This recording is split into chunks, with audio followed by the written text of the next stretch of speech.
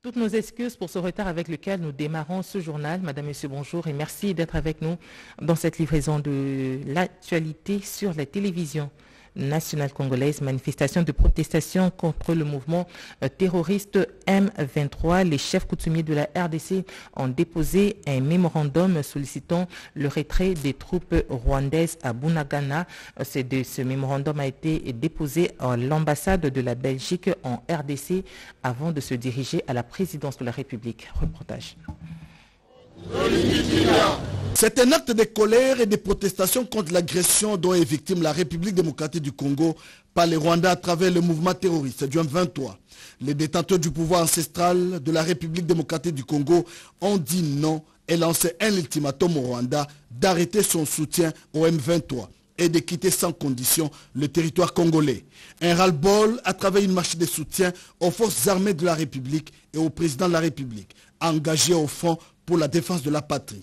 Lançons un ultimatum au Rwanda de retirer ses militaires et ses complices de terre congolaises et ce, avant le 30 juin 2022, date marquant l'indépendance de la RDC. Accompagné par les membres de Mundadi Old Foundation, le Conseil supérieur de l'autorité traditionnelle et coutumier vient de faire une mise en garde sévère au Rwanda. La marche de soutien est partie de la gare centrale, première escale, la Monisco. Les chefs coutumiers de la RDC ont lu et déposé un mémo qui reprend la situation sécuritaire et les preuves tangibles du soutien du Rwanda au mouvement M23. Dans ce mémo, les chefs coutumiers de la RDC condamnent avec la dernière énergie l'incursion rwandaise et somme le M23 de quitter le territoire de Bunagana. Le président de la fondation Mundadi Old Foundation, Stéphane Mundadi, était présent à cette marche. Mondadi Old Foundation réitère son soutien indéfectible au président de la République, Félix-Antoine Tshisekedi Chilombo, et aux forces armées de la République. Pour Sa Majesté Fumudifima, la RDC ne cédera aucune portion de son territoire. Porte fermée, l'ambassade de la République du Rwanda en RDC a refusé d'ouvrir ses portes et recevoir le mémo. Les chefs coutumiers l'ont jeté en promettant de revenir prochainement. Très touché par les tueries de plus de 12 millions de Congolais dans l'est de la République démocratique du Congo, les chefs coutumiers et Mondadi Old Foundation déplorent les attaques à répétition à l'est de la RDC et donnent un délai jusqu'au 30 juin 2022 pour que les Rwandais quittent le territoire congolais. Ils l'ont dit à l'ambassade de Belgique en République démocratique du Congo. Une délégation a été reçue avant de chuter à la présidence de la République pour le dépôt de ce même mémo. Les chefs coutumiers ont fait leur part. Les confessions religieuses ne sont pas en reste. Le stade de martyrs était en ébullition ce samedi 26 juin. Un culte d'action de grâce en faveur du pays et des forces armées de la RDC a eu lieu. C'était en présence de plusieurs croyants de différentes euh, confessions religieuses de la capitale. Comme un seul homme, euh, les Congolais ont dit non à l'agression euh, du pays par les rebelles du M23 et leurs complices rwandais. Reportage. Daigne accorder à ton serviteur qui est au devant de toute l'armée la force, l'intelligence et la sagesse de réussir avec son programme et sa mission. Seigneur, exauce notre prière. Nous te prions, Dieu, Et puis la dépouille euh, du premier Premier ministre de la RDC, Patrice Emery Lumumba, est arrivée à Lubumbashi hier dimanche dans la soirée. Ah, C'est le Premier ministre Jean-Michel Samalukonde Kenge qui l'a réceptionné à l'aéroport de la Loano. Reportage. C'est ce dimanche 26 juin 2022, autour des 15 heures, heure de Lubumbashi, que la dépouille de Patrice Emery Lumumba est arrivée dans la province du Haut-Katanga. Le Premier ministre Jean-Michel Samalukonde Kienge était présent sur le tarmac pour l'accueillir. Et c'est là, après avoir fait le tour de Lubumba-Ville dans les Sankoro et de Kisangani dans la Chopo. Après les honneurs militaires et les recueillements sur place à l'aéroport, la dépouille du tout premier Premier ministre de la République démocratique du Congo a pris la direction de Chilantembo, village où ce héros national a été assassiné le 17 janvier 1961. L'inhumation de Patrice Emery Lumumba est prévue à Kinshasa le 30 juin 2022. On a noté à l'aéroport de la Loano la présence d'une forte délégation gouvernementale, des notables et des autorités provinciales de la province du Haut-Katanga. Et puis la République démocratique du Congo qui a toujours attiré des investissements de régions et des partenaires de développement pour une économie diversifiée. C'est à ce titre qu'il s'ouvrira ce lundi 28 juin un sommet des investissements en faveur de l'économie de marché. Marthe Mangazakala, la reportage tout simplement euh, le but de créer un cadre de rencontre mondial qui va rassembler des investisseurs, des partenaires, des entreprises, des décideurs politiques afin de parler sur les investissements ainsi que sur les tendances qui influencent l'investissement en RDC. Ça sera focalisé plus sur l'agriculture, mais bien entendu, qui dit agriculture dit transport, qui dit agriculture dit électricité et plusieurs autres secteurs, parce que lorsqu'on parle de l'agriculture, si par exemple on s'émet euh, du maïs quelque part, il faudrait trouver un moyen pour la transformation ainsi que la livraison. Lorsque des investisseurs viennent eux-mêmes pour chercher des projets dans lesquels s'investir ou encore lorsqu'on a des déteneurs de projets qui cherchent le financement, euh, ce qui se passe c'est que de un, il n'y a pas euh, l'étude de faisabilité qui se fait et puis de deux aussi, il n'y a pas le respect des processus qui doivent se faire pour matérialiser justement les projets ou encore euh, l'intention d'investir dans un pays. Alors ce qui est différent avec nous, c'est que nous créons le pont entre les déteneurs de projets ainsi que les investisseurs. Nous prenons les projets dans les secteurs privés et publics aussi d'ailleurs et nous les matchons avec ce que les investisseurs sont en train de chercher. Donc ce qui fait que tout ce qui est loi, tout ce qui est, euh, tout ce qui est tout ce qui est euh, processus, nous prenons soin de ça et nous nous assurons à ce qu'il y a des fonds justement qui sont déjà disponibilisés pour financer les projets qui sont présents.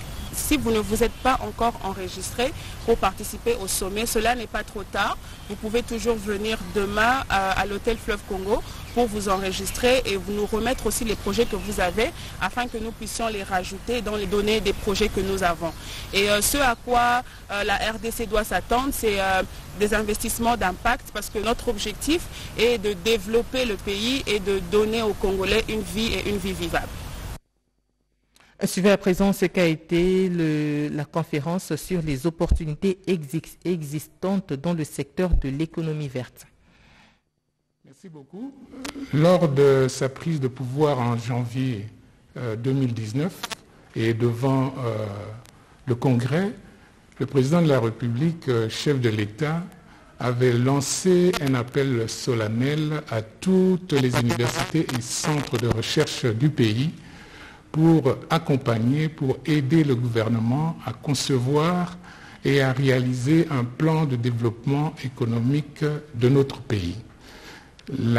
L'université technologique Bel Campus avait relevé ce défi et pendant 13 mois, avec 12 experts nationaux, nous avons rédigé cet ouvrage de 1351 pages décliné en 17 chapitres où nous avons marqué, rédigé la trajectoire de développement pour l'émergence de notre pays. Il faut savoir que ce genre de, travail, au Gabon par exemple, ils ont dû payer euh, 1 800 000 euros, tandis qu'au Sénégal, le, le, plan Sénégal émergent a coûté au Trésor sénégalais 2,75 millions d'euros.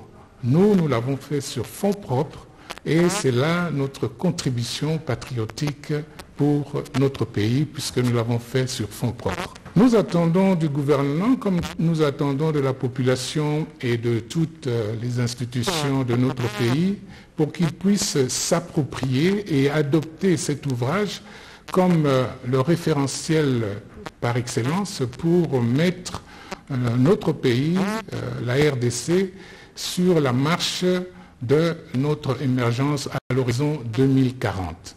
Le livre se trouve à l'Université technologique Bel Campus et nous faisons une campagne de vulgarisation. Nous avons été à l'UNIKIN mercredi passé et ce que nous souhaitons, c'est que nous puissions vulgariser ça de la manière la plus large possible parce que chaque mois qui passe, nous perdons une opportunité. Il faut savoir que en 14 mois entre février 2021 et avril 2022, quelques pays autour de nous ont levé pratiquement 10 milliards de dollars sur le marché de rebond pour leur émergence. Il s'agit du Nigeria, il s'agit du Cameroun, il s'agit de, de, la Côte d'Ivoire, du Bénin, et nous perdons en opportunité si nous ne nous mettons pas au travail. Nous sommes allés vite en besogne. Suivez à présent ce qu'a été la conférence sur les opportunités existantes dans le secteur de l'économie verte. Les experts congolais issus des disciplines scientifiques diverses se sont retrouvés au ministère des Affaires étrangères pour réfléchir sur une question actuelle, à savoir l'économie verte. Pour un pays qui se veut pays solution en ce qui concerne l'environnement, la conservation de la nature et le climat, il est important que les Congolais maîtrisent tous les enjeux liés à ces concepts. Des jeunes entrepreneurs se sont rendus compte des opportunités d'investissement existant dans le secteur de l'économie verte. Notre culture, elle est orale. Mais si tu veux être un businessman, franchement, il faut partir de l'oralité à l'écrit. Parce que la plupart des gens qui font le commerce dans notre pays ne savent pas calculer. Quand tu ne sais pas calculer tu ne sauras pas évaluer le bénéfice. Et vous allez voir à un moment où était la couille. À l'issue de ces échanges, des participants ont reconnu l'existence des chaînes de valeur et la création d'emplois générés par l'économie verte. Et puis au chapitre des, élections, la présidente de la Ligue des électeurs est venue euh, déposer une liste des activités accompagnant le processus électoral en RDC. On l'écoute. D'une matinée euh, autour du processus électoral.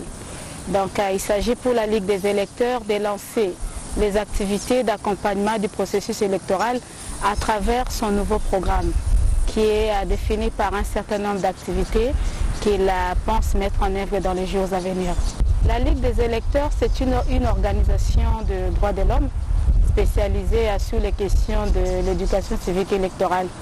C'est une organisation pionnière sur les questions des élections qui évolue depuis l'ouverture de l'espace démocratique dans notre pays, qui a préparé nos populations dans les processus électoraux, donc les suivis et dans la participation au processus électoral à travers un certain nombre de formations sur les techniques électorales, sur l'observation des élections et les sensibilisations des masses. Il s'agit donc d'aider la population à savoir pourquoi elle devrait voter et comment il, faut, comment il faudrait voter et quand est-ce qu'il faut aller au vote. Et bref, c'est toute cette question de préparation aux élections à travers l'implication de la population dans le processus électoral. Parce que comme euh, vous le savez, le processus électoral dans notre pays est à son euh, quatrième cycle, si je ne me trompe pas. Et euh, les élections, la consolidation du processus démocratique. Et donc, ça s'organise d'une manière cyclique. Et pour ce faire, pour que ce soit des élections crédibles, qui respectent un certain nombre de critères sur le plan universel, il faudrait qu'il y ait une préparation très importante de la population. Et puis le coordonnateur du service national, général Kassongo Kabouik, a lancé une série de formations des ingénieurs. On en parle avec Oscar Mbala. Formation des ingénieurs agronomes du service national, organisée sous l'égide du commandant en chef, le général-major Jean-Pierre Kassongo Kabouik, vise à outiller cette catégorie de personnes pour qu'à leur tour encadrent le paysan afin d'accroître la productivité. Nous avons commencé aujourd'hui le séminaire de renforcement de capacités des agronomes du service national pour un programme d'encadrement de, ménages agricoles dans le cadre de ce que nous appelons le développement intégré. Donc le service national se prépare désormais au début de la campagne prochaine d'accompagner les ménages agricoles avec les intrants agricoles et les outillages agricoles pour leur permettre d'accroître leur production agricole. Cet atelier de renforcement des capacités de 5 jours porte sur plusieurs matières. On doit parler de la culture elle-même, le maïs, hein? mais quand on parle avec les paysans, faites un effort de vous adapter à leur langage. N'allez pas avec des termes scientifiques. Vous allez voir qu'ils vont vous détester. Les équipements ainsi que les vastes étendues de terre à eux seuls ne suffisent pas. Une main-d'œuvre experte et outillée mérite d'y être associée pour des résultats escomptés. Toujours à Kanyama-KCC, suivez à présent ce qu'a été la récolte de 3000 tonnes de maïs, toujours avec le général Kassongo Kabouik. Reportage. Est en train de livrer son secret. En plus des travaux de menuiserie où les jeunes bâtisseurs, autrefois appelés marginaux de la société, fabriquent des lits, des bancs et pour bientôt des meubles de bureaux. La briqueterie pour la construction des bâtiments, sans omettre cet atelier d'ajustage pour la fabrication des portes et fenêtres métalliques. Ces bâtisseurs s'adonnent également à l'agriculture et la récolte pour la saison culturelle 2021-2022 vient de commencer sur ces vastes étendues de champs étalés sur des milliers d'hectares sous la supervision du commandant du service national, le général-major Jean-Pierre Kassongo-Kabouik, qui par moment prend les commandes de la moissonneuse batteuse pour s'assurer d'une bonne récolte en cette saison agricole 2022. Comme vous le remarquez, le travail se fait de nuit et de jour. Nous sommes ici en pleine récolte. Les bâtisseurs sont mobilisés ici comme une armée de fourmis qui travaillent sans relâche pour réaliser la vision du chef de l'État, n'est-ce pas, nourrir la population congolaise, nourrir les militaires, les policiers à partir de leurs cantines. L'objectif de récolter par jour 300 tonnes, voire 400 tonnes de maïs ce jour, c'est-à-dire 6 000 à 8 000 sacs de maïs. C'est énorme. Comme vous le voyez, ça c'est le maïs blanc produit à Kanyama-KCC. Depuis les sites, les centres pilotes de Kanyama-KCC, Oscar Mbal, Camille Djoké, RTNC. Et puis Edith Chala nous parle à présent de la clôture des travaux d'harmonisation de l'enveloppe salariale. C'était au ministère de la Santé. Après huit jours d'intenses discussions, les lampions se sont éteints samedi 25 juin 2022 à Bibois sur l'atelier des travaux de la commission interministérielle Santé, Fonction publique, Budget et Finances, ainsi que les banques syndicales du secteur de la santé. Les assises étaient centrées sur l'harmonisation de l'enveloppe salariale et l'alignement à la prime des risques des médecins, infirmiers, administratifs et autres professionnels de la santé œuvrant dans les services publics de l'État accompagné de la vice-ministre de la Santé publique, Hygiène et Prévention, Véronique Kilumbankoulou, le ministre de la Santé publique, Hygiène et Prévention, le docteur Jean-Jacques Mbongani, dans son adresse, a souligné que les résolutions de ces travaux aideront à ouvrir de nombreux chantiers dans les semaines et mois à venir, conformément aux ambitions du gouvernement de la République, dans le cadre de l'accélération de la mise en place de la couverture santé universelle. Aujourd'hui, vous voyez l'effervescence qui règne cela témoigne suffisance que le gouvernement a fait des efforts et nous avons mis en place des ateliers qui vont continuer d'ici 15 jours pour régler de manière définitive toutes les demandes de ce secteur, donc du secteur santé tout entier, tant les médecins que les non-médecins. Très fructueuses, les négociations ont été sanctionnées par la signature des avenants signés par les représentants des médecins, des infirmiers et des autres professionnels de santé. Présents à la clôture, le vice-premier ministre, ministre de la fonction publique, Jean-Pierre Liaou, a félicité les syndicalistes pour leur engagement durant les huit jours des travaux.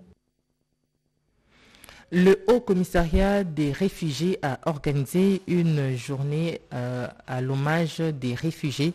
C'était autour de l'autonomisation de la femme. Reportage profondes ont été menées en présence de représentants des agences du système des Nations Unies et des autorités provinciales pour encourager la résilience et l'autonomisation de la femme et de déplacés internes vivant au Kassai et encourager la masculinité positive. Madame Sandrine Desamours, chef de bureau UNHCR pour le Kassai, s'est ainsi exprimée sur cette journée du réfugié. Le message aujourd'hui qui est tel qu'a donné notre haut commissaire, Monsieur Filippo Grandi, l'UNHCR, à travers cette solidarité de la communauté internationale, nous demandons et nous essayons d'appuyer ces gouvernements aussi à pouvoir mettent fin aux guerres et aux différentes hostilités, y compris le terrorisme, qui force les personnes à fuir.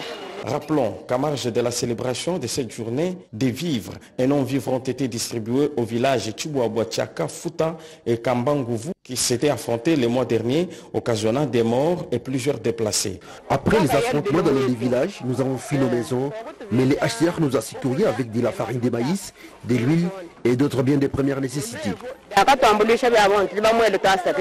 La sensibilisation sur la cohabitation pacifique a été effectuée à travers la Fondation Kadima au site de Chamusanda. Et puis, pour terminer, suivez cette qualité, la construction d'un stade moderne au standard international à Moueka dans le Kasaï. C'est le don du député national Martin Ikouk. La cérémonie inaugurale a été présidée par le gouverneur du Kasaï, Dieudonné Toutoukot. Regardez. Moueka, dans la province du Kasaï, était en ébullition totale le samedi 25 juin 2022 à l'arrivée triomphale de l'honorable Martin Ikoukt Ikok, député national élu de Moueka, accompagné du gouverneur de la province du Kasaï, Dieudonné Toukoukot, ainsi que de toute sa famille. Une foule immense de la population de Moueka, dans une joie débordante, a réservé un accueil chaleureux à ces dignes fils du terroir avec sa délégation. La raison est justifiée. C'est l'inauguration du stade municipal moderne à la dimension olympique Nîmes, Côte Ambok, Chia, René. Tout a commencé avec la messe d'action des grâces présidée par Monseigneur Oscar Nkolo Konoa pour bénir et confier cette œuvre sociale d'amour à Dieu. Belle occasion pour le gouverneur du Kasaï de rendre hommage au chef de l'État Félix Antoine Tshisekedi qui a toujours placé la population congolaise, mieux la jeunesse, au cœur de son action avec des encouragements de savoir se prendre en charge tel que venait de le faire l'honorable Martin Ikoukt Ikok à qui il a jeté des fleurs et des remerciements pour sa grandeur de cœur envers la population de Moueka en particulier et celle du Kasaï en général président de la République, Félix Antoine Tshisekedi, qui a, dans sa politique, appelé tous et chacun à se prendre en charge. Et l'honorable Martin Ikoukut a suivi ce message et a mis la main à la pâte et a doté la province du Kasaï, à travers le territoire de Moueka, d'un stade olympique Martin Ikoukt Ikok, avec son slogan Dirigeons Moueka autrement, a remercié la population pour l'accueil démesuré lui réservé et satisfaction pour l'accomplissement de sa promesse. C'est une grande satisfaction et un immense honneur pour moi d'inaugurer ce stade.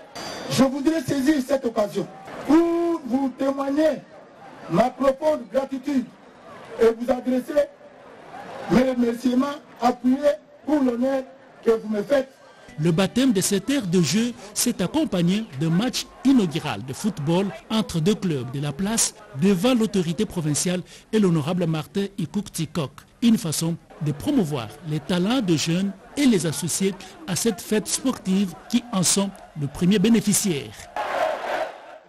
Que nous mettons un terme à cette livraison de l'actualité un journal qui a été réalisé par Patrick Bapuila Papivouélé à l'équipe technique Grace Kingambo, Christian Abiti Alengalia. Ce journal a été coordonné par Jacques Abouaba Mukumina Asedoga. Nous vous disons merci de nous avoir suivis à Lubumbashi dans le Haut-Katanga, plus précisément dans la commune de la Kenya. L'actualité continue sur nos antennes en français et dans les quatre langues nationales. 13h30, Boubou Anan Mukundi. Au revoir et à la